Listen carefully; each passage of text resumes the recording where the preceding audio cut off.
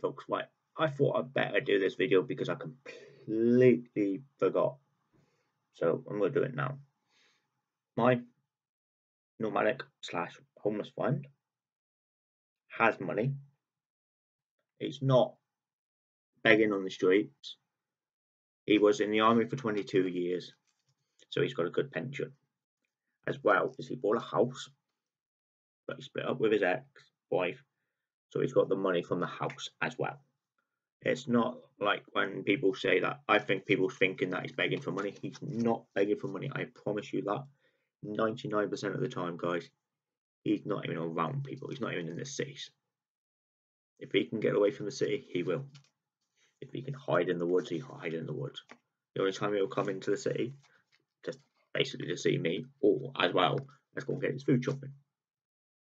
So I thought I'd put that one across because I think people's going to start asking questions because of the rucksack, because of the mod, the rucksack, the modifications on the rucksack, the other pieces of his gear.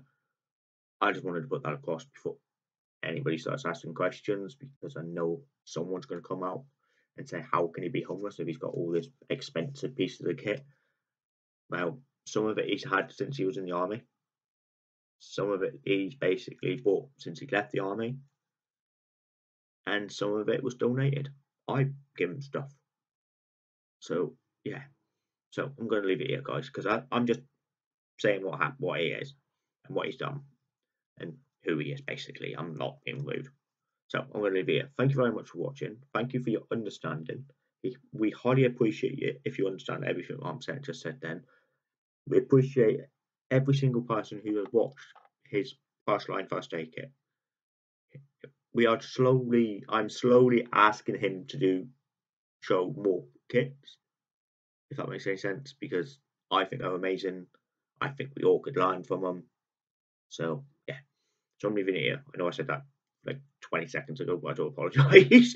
so I'm leaving it here. Thank you very much for watching. As I said, we appreciate every single one of you who've watched these videos. We will catch you in the next one. Thank you very much. Bye bye.